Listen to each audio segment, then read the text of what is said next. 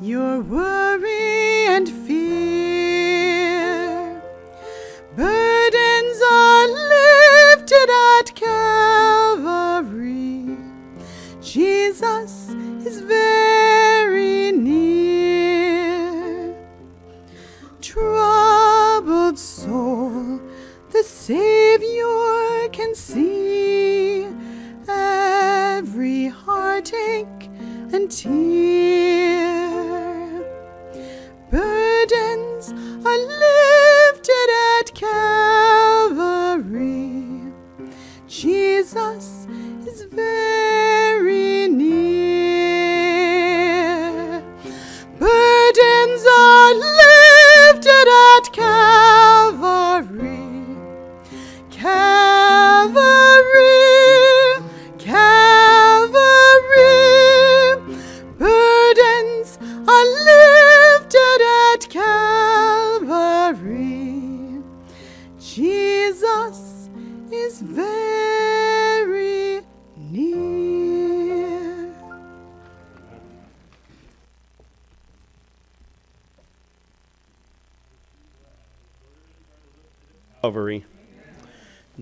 Jesus is very near.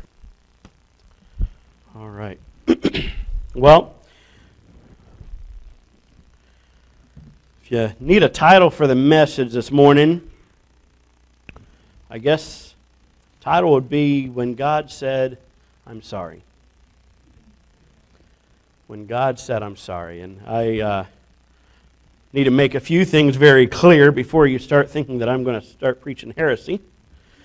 Um, I believe with my whole heart that uh, God is not in the business of changing.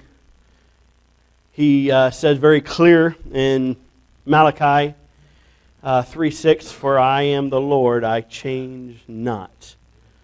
Um, so he, he doesn't, he's not in the business of changing. He's, uh, there's nothing that surprises God. All right? Um, Psalm 147 5, we see, Great is our Lord and of great power.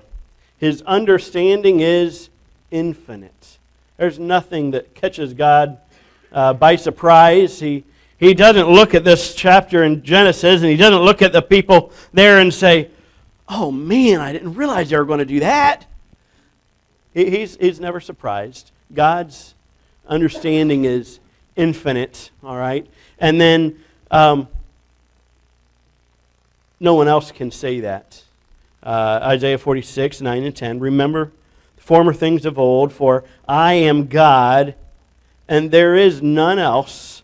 I am God, and there is none like me. There's no one else that we can say is in, infinitely, uh, has the infinite wisdom. There's no one else that we can say uh, doesn't change. I, would say if we uh, went around the room, we would be able to say that we uh, change uh, our minds often. But that's not what uh, we're talking about here in this chapter. When, when uh, God says in two places that it repent to the Lord that he hath made man on the earth. And at the end of verse 7, for it repenteth me that I have made them. This, uh, this, is, this is what he's saying, I believe. I uh, have four children, as you most of you well know. And I love my four children. They're wonderful children, but believe it or not, they're not perfect. You're not supposed to laugh, you're supposed to gasp. Uh, but they, they aren't. They're, they're not perfect, and primarily because they have an imperfect uh, father. But uh, they, they do things that may not uh, be obedient. And so on occasion, just oh, ever so rare occasion, they may get in trouble. And uh, if there's a issue of uh, direct disobedience, then their father may say, "All right, so and so," and I'm not going to embarrass them to tell them which one is most recent. And I uh, said, "Go to my room. You uh, have uh, done wrong. You have directly disobeyed me." And so there's a consequence for that direct disobedience.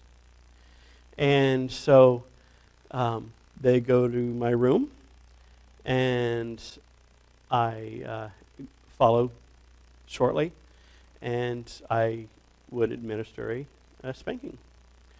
And uh, may I say that that is a uh, very proper and uh, okay thing to do. Uh, not in anger, not in frustration, but there's not a thing wrong with uh, giving a, a, good spanking. And uh, for my children uh, and how we, we operate as a family, um, and this has been since they were little, uh, we're very, very consistent. But when I give a spanking, it's one swat. It's one good swat. It's one swat and it's very effective. But they, they know that daddy means business. All right? It's not a massive uh, bout of frustration and let me, you know. But you know what happens when I give them a spanking? We pray. We say, uh, uh, explain what happens. And I say, I'm sorry that this had to be this way. I'm sorry that I had to give you a spanking. I'm sorry that I had to discipline you. I'm sorry that you did wrong. Did I am I saying that man, I wish I never would have given you that spanking? No. Am I saying that I wish that uh, you were never born? No. But I'm saying it grieves me it hurts me. And I believe if you're, uh, you're effectively disciplining your children, it will grieve you. It will hurt you when you have to discipline them. But that's what God's saying here. He says, It repented the Lord that he had made man on the earth, and it grieved him at his heart. At the very core, man, it grieved him. This is when God said, I'm sorry. And actually, there's, a, there's another uh, place too, but we don't have time to go to both of them. So we're going to stick to this one tonight, or this morning. Get you time. Used to preaching at night, and not in the morning. Uh, but uh, this is this is the uh, this is the first place where uh, Lord says, "I'm sorry." Why why is it and when is it that uh, God said, "I'm sorry"? He's he was sorry when he saw first of all great wickedness. Verse 5, the beginning of verse 5, he says, God saw that the wickedness of men was great. He, uh, if we look in uh, Luke chapter 17,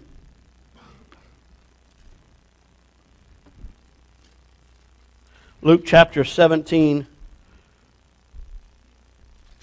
verse 26 says, And as it was in the days of Noah, so shall it be also in the days of the Son of Man. And so then he goes on to describe what it's like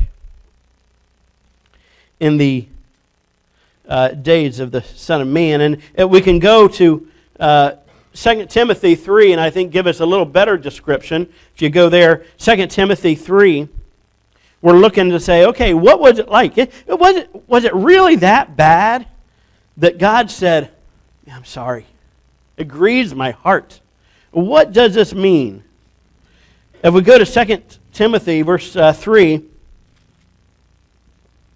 verse 1, this know also that in the last days perilous times shall come. We're, we're talking about those same last days that in Luke it reflected back as in the days of Noah, right? So I think we can safely say that as what we're getting ready to read is very similar to as in the days of Noah, okay? And we're going to see what this great wickedness was like It says in chapter 3, verse 2 For men shall be lovers of their own selves, covetous, boasters, proud, blasphemers, disobedient to parents. How about that next one? Unthankful, unholy. Uh, this, this list is a pretty big deal to God. He, he put it in the Bible, right? He, and he, he said in the last days, these things are uh, come about. And, and, and Luke, he said, these, these, in these last days, it's just going to be like in the days of Noah. And so I, I'm, I've got to believe that these things are just like in the days of Noah unthankful, unholy, without natural affection, truce breakers not keeping your word. False accusers, incontinent, fierce, despisers of those that are good, traitors, heady, high minded. Think more of yourself than you ought. Lovers of pleasures more than lovers of God. Having a form of godliness but denying the power thereof. From such turn away. It's quite a list, isn't it?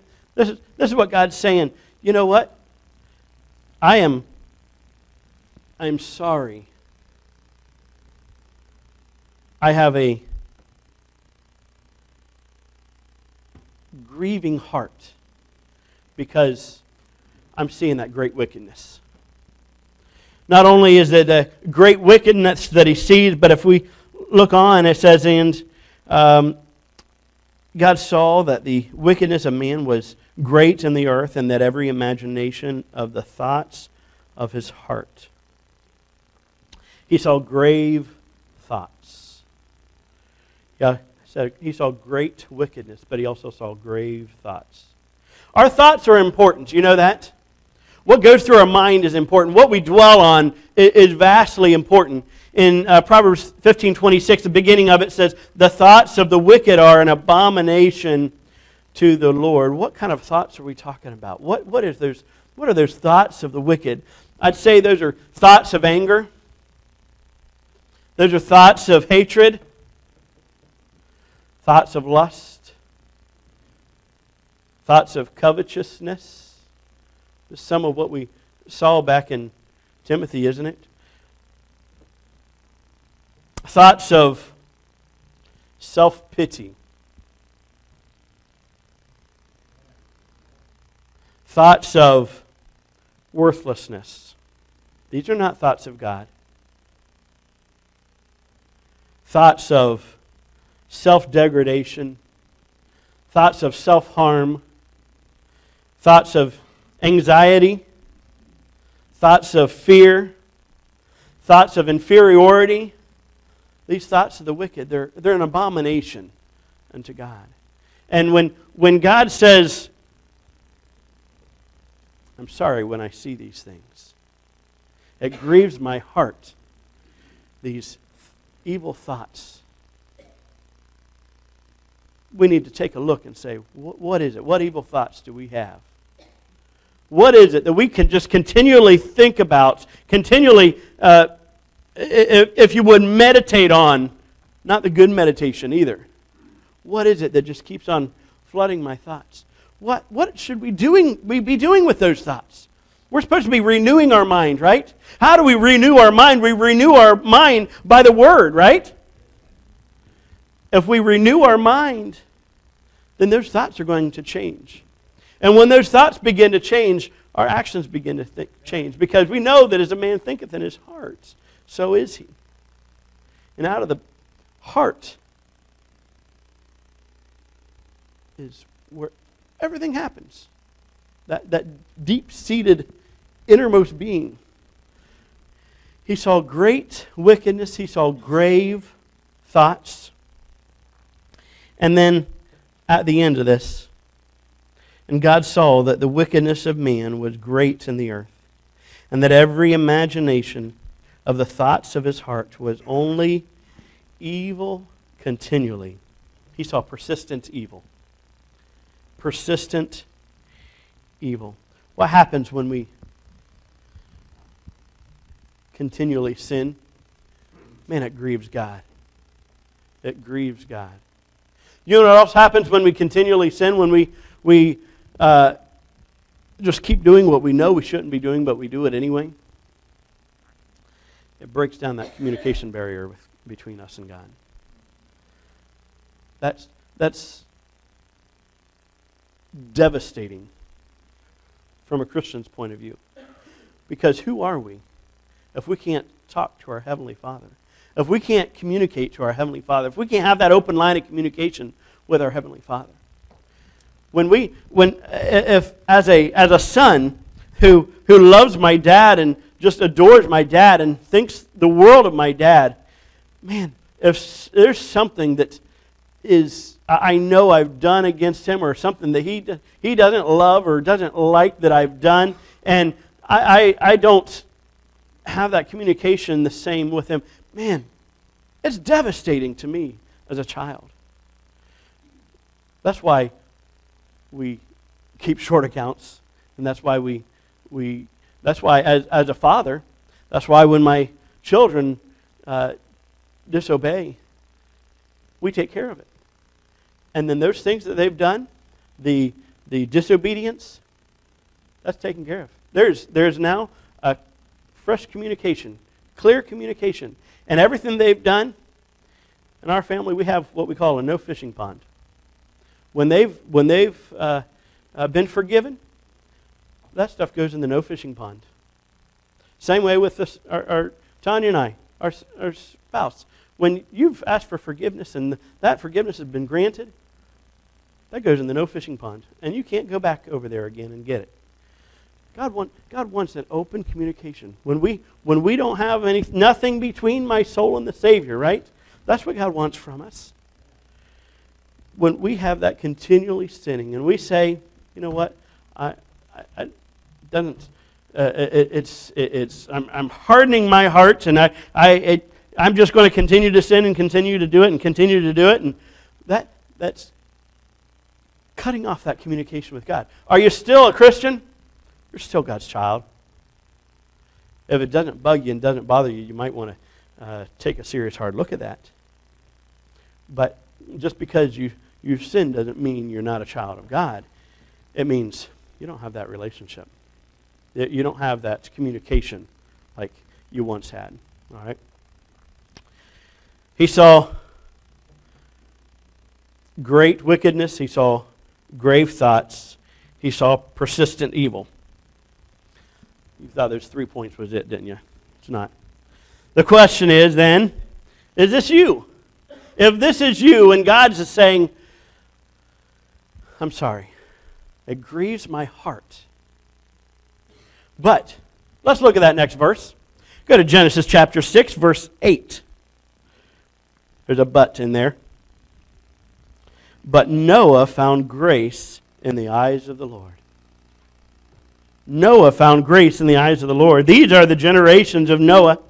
Noah was a just man and perfect in his generations, and Noah walked with God. What is that grace? Noah found grace in the eyes of the Lord. That grace we've been uh, taught is God's sufficiency for my insufficiency, right? So God and Noah found grace in the eyes of the Lord, whether Noah deserved it or not. God's sufficiency picked up the slack where Noah couldn't uh, uh, meet, where Noah couldn't live up to. All right, he, he, he gave grace. He found grace in the eyes of the Lord. Noah was a just man. This is, this is what we need to be looking at. If we say, God, I'm, I don't want you to say I'm sorry about me. God, I don't want you to be able to say, you're grieved in your heart by looking at me. Then we need to look at Noah because Noah found grace in the eyes of the Lord. And Noah was a just man, is what it says, right? A just man in, uh, in the Webster's 1828 dictionary, that word just is uh, referred to as righteous. One with a holy heart, holy in heart. Observant of divine commands as a righteous man.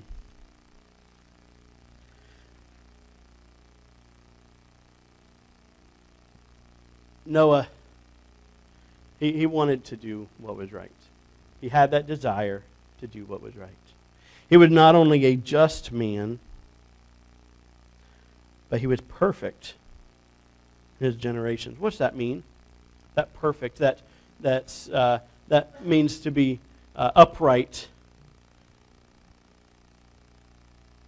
fearing God. It's kind of like Job. We can go to Job chapter 1. It's, it's pretty much uh, outlined what's that just man. Job chapter 1, verse 1 There was a man in the land of Uz whose name was Job, and that man was perfect. Does that mean he was sinless? He never did anything wrong? No. He was perfect and upright, one that feared God and eschewed evil. What's that mean? That's what that word eschewed is. He shunned evil. He, he, he avoided evil. He was one that said, I'm not going to do that when it comes to him. He's one that uh, what doesn't allow temptation and opportunity in the same room together. He eschewed evil. He was one that uh, was not willing to uh, compromise. He was, he was one that uh, he, he feared God. What's that, what's that mean to fear God? That, that word feared God, sometimes we just think of it as an irreverential awe. But it's a lot bigger than that, I believe.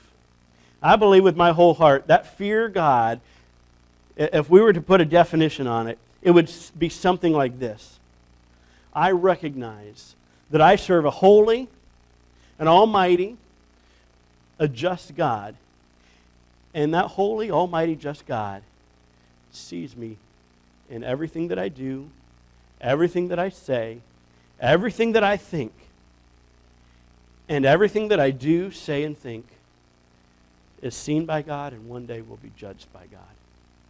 if we live our lives with that fear of God, not just this, ah, but really fear God, recognizing that everything I do, everything I say, everything that I think is seen by God.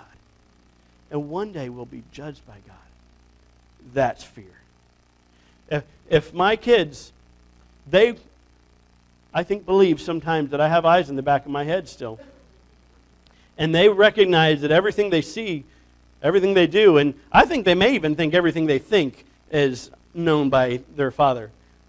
That is a large portion of why they do right, because they fear dad, and they know that dad will find out and will be judged by dad. If we can turn that around and say, we have a God who is omnipotent, is omniscient, is omnipresent, is, is everything. He can see. He doesn't need eyes in the back of his head. And he can't even read, he can even read my mind. He knows my thoughts. Nobody else can do that. God knows my thoughts. And even what I think is known by God and one day will be judged by God. This is a pretty big deal. Job, he was that perfect and upright, one that feared God and one that eschewed evil. This, this word perfect, if we go back to Genesis and see Noah as, as this perfect man, he was one that is uh, not defective, he was complete.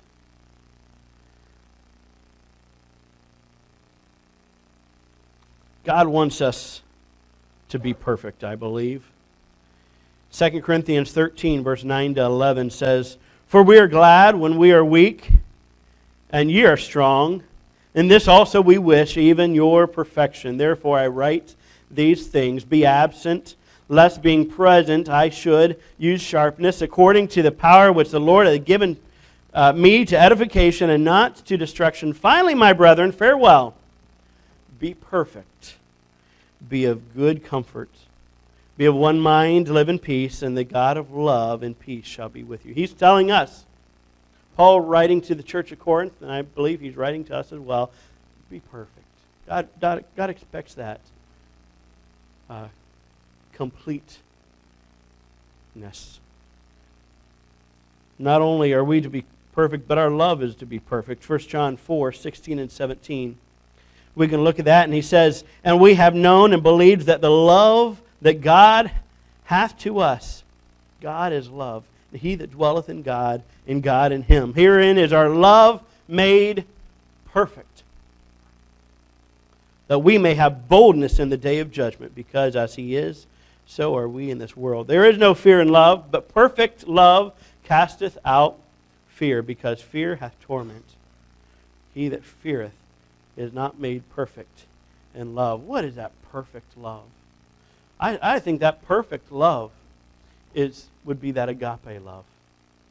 That's that love that God gives us. That's that love with shoes on. That's that, uh, I saw somewhere else, love with work gloves on. Being willing to not only know a need and uh, see a need, but uh, able to and willing to put yourself out there for that need, knowing that you're not going to receive anything back. You're not going to get anything back for it. I think that's what that perfect love is. Our love is to be perfect, and then our patience is to be perfect. James chapter 1 James chapter 1. I love the book of James.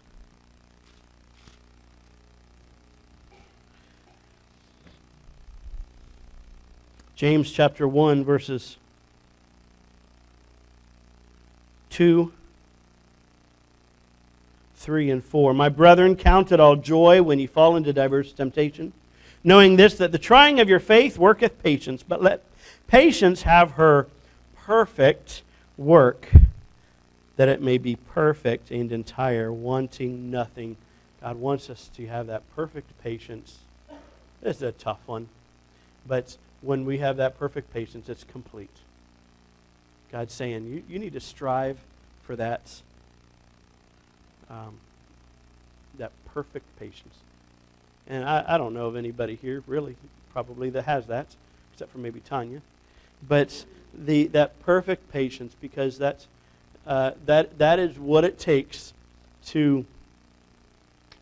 we were talking about in Sunday school, and I know Brother Bill uh, preached about this in the uh, prison uh, Saturday morning, but that's, that's what it takes to have that uh, meekness, that fruit of the spirits, that ability to negotiate among others without causing friction, that, that patience. We're to have our patience to be perfect, our love to be perfect.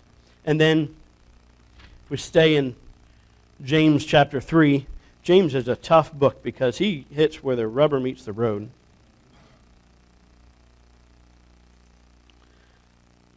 Verse 2 For in many things we offend all. If any man offends not in word, the same is a perfect man, and able also to bridle the whole body. Our tongue should be perfect. This is, again, we go back to that meekness, right? That ability to negotiate among others without causing friction. That's, a, that's something that is the fruit of the Spirit, right? And if it's a fruit of the Spirit, that means it's not a fruit of me. It's not something that I can do on my own. So perfection is not going to happen just by me wanting it to happen. I'm not going to be that perfect man, that, that's just and perfect man, just by working harder and trying harder and wanting to uh, do better. And I, I, I'm, I'm going to I, am it's settled. I'm just going to do it. I'm going to change. I'm going. Man, as long as we're saying I, I, I, I, that's me doing it. That's not grace. Because grace is His sufficiency for my insufficiency. And I know I'm insufficient. I know I am helpless. I know that I can't do it on my own. But I serve a God who can. His sufficiency for my insufficiency. And then let's look at, uh, go back to Genesis chapter 6.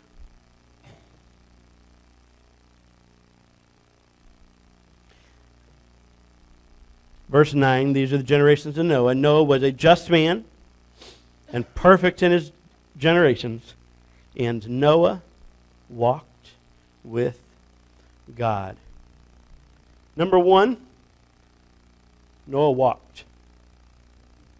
Those of you who uh, uh, come to RU, you know the definition of walking. If you don't uh, come to RU, definition of walking is very much the same. Taking repeated steps in the same direction, right? Take, taking that walking, repeated steps, right? This is repeated steps. If, if you're just standing with God, your theme song can be, I shall not be moved because that's just standing. But what the Bible said is uh, he, he, he walked with God. That means when God moves with him and directs him, he walks. He takes repeated steps in that direction. He doesn't stand still. He's not just in one, one place all the time. If you're staying in one place as a Christian, you're not walking with God. You're, you're, you had a, had a, a, time with God, but that's not walking. Walking is repeated steps in the same direction, right? With God. And then uh, not only is it walking, but it's walking with, right? It's not, God, back there, I, am glad you're back there, and you, you just go on that way, and I'll, I'll just I'll meet you somewhere up here. It's God right, right with me. Had a friend uh, that I was in Russia with, and uh, this is way too many years ago, uh, 20 some years ago, and uh, I, have always been a fast walker. And I was even a faster walker then than I am now. And he, he informed me that a, a friend who I was walking with uh, was not in front of, not behind, but actually was next to walking with. And I think that's very important when we, we look at, he walked with God. Don't get ahead of God. Don't be lagging behind, but you're walking with God. So not only is he walking, not only does he walk with, but he walks with God. Not walking with his old friends, not walking with his old companionships or old old habits, but walking with God. It's, it's kind of like that uh, yoking up with God that uh, I've talked about. And if, if, are you going to cause, if you are a Christian, you have Christ living in me. Oh, what a salvation this, that Christ liveth in me. And if we're going to do that, are we going to cause Jesus to look at those things and have him in the same room while I'm looking at those things? Or are we going to cause him to uh, be with me as I explode in anger? Or maybe be with me as I have inappropriate conversations with other people? He walked with God. Man, it's important. We're walking with God, not just our own what what we want. Our company matters. Our company matters. Now, you may say, you know what, Brother Bob? I'm not seeing myself as this just God, this just guy, this perfect guy, this guy that walks with God. It seems to me that I'm more like the folks that God is saying I'm sorry about. And it's a sad thing if God is saying, I'm sorry to you. But there's something we can do about that. And I think a good outline of what we can do about that comes on the heels of when David made some serious mistakes in his life. He messed up. He was up on a rooftop when he shouldn't be. She was up on a rooftop probably when she shouldn't be and he was tempted. He allowed temptation and opportunity in the same roof together. But don't do that. We know that we're, we're human. As soon as he went up to that rooftop and saw somebody out there, he should have turned right back around and went right down. But instead, he allowed that temptation and opportunity in the same room together. And committed adultery, tried to cover her sins. We know the story. Had her husband killed. But God got a hold of his heart. And I pray that tonight, or this morning, if you're that person that God is saying, I'm sorry about, God will get a hold of your heart. And he, he says, number one, he recognizes his sin in Psalm chapter 51. I think this is a psalm that we should have memorized because this is a psalm that we can just pray right to God. Many, many times I've used this psalm to, to change that communication that I have with God, to open it up. Number one, he says, Have mercy upon me, O God, according to the love and kindness According to the, merc- according to the multitude of thy tender mercies, blot out my transgression. He recognized his sin. He admitted that he sinned. Wash me thoroughly from my iniquity. Cleanse me from my sin. For I acknowledge my transgression, and my sin is ever before me. You know, you're not going to have that washing and cleansing if we don't recognize our sin, if we don't acknowledge that we've sinned against God.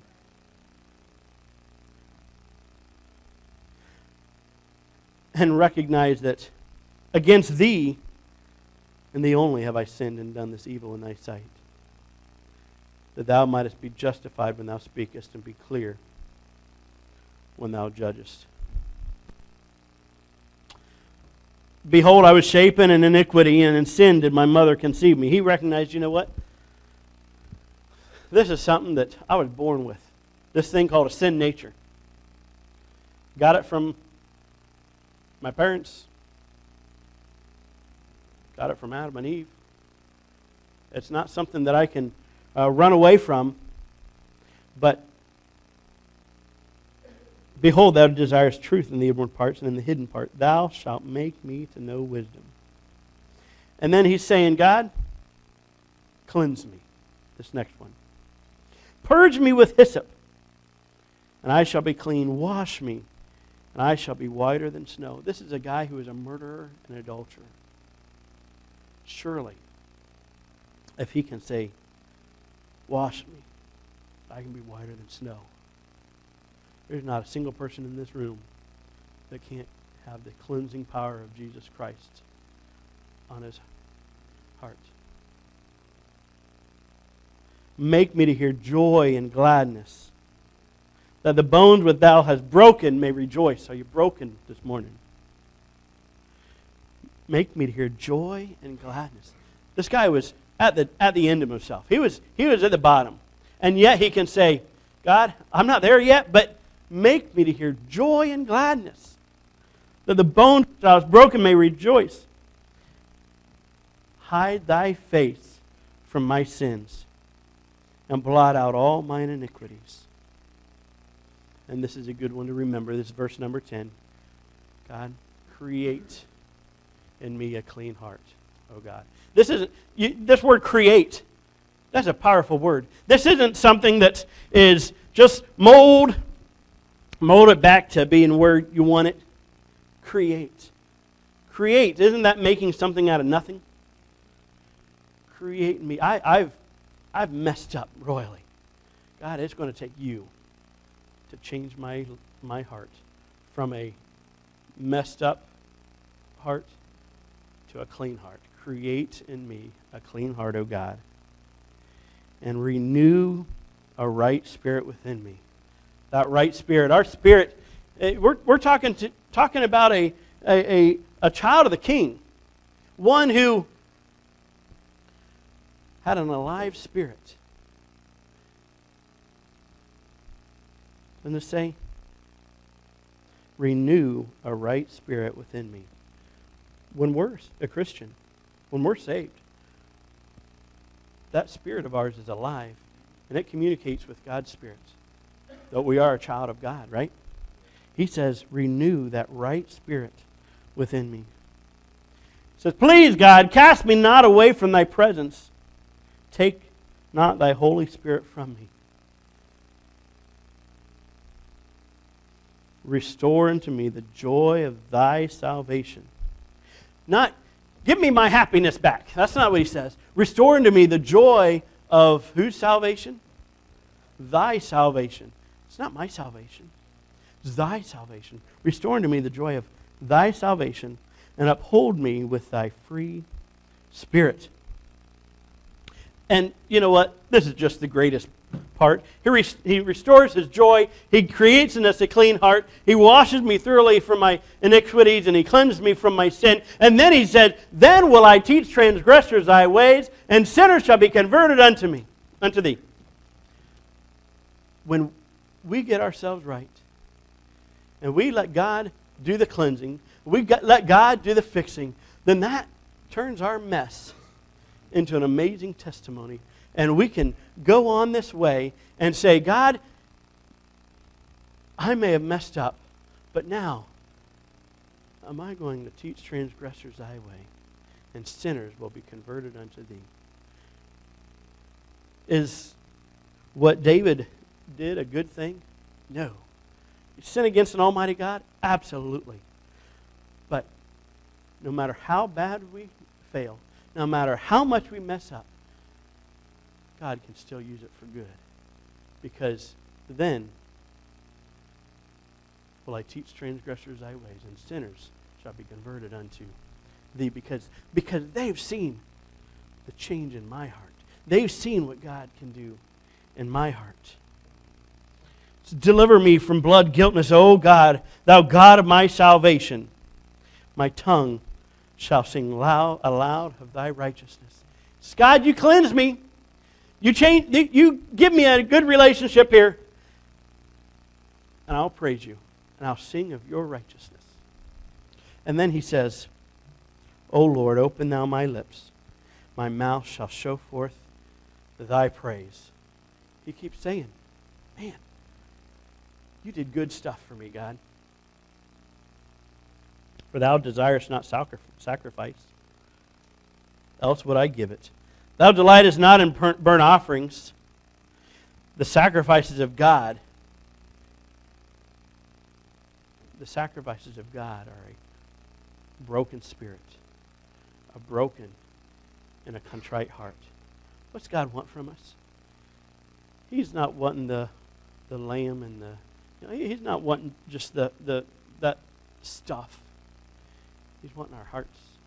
He's wanting that contrite spirit, that broken spirit and a contrite heart.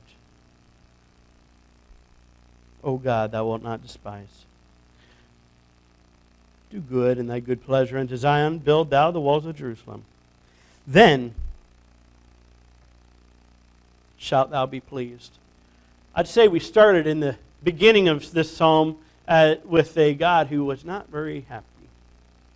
He wasn't very pleased. In fact, he was probably saying, I'm sorry. But at the end, he says, Then shalt thou be pleased with the sacrifices of righteousness, with burnt offerings and whole burnt offerings. Then shalt thou offer bullocks upon thine altar. When we get ourselves and our hearts right with God and let God do the cleansing, then He's ready to let us serve Him. Then He's ready for us to say, I, I, I give you my all, God. Anything you want me to do, anywhere you want me to go, any, it, it, it's all yours. Wonder tonight.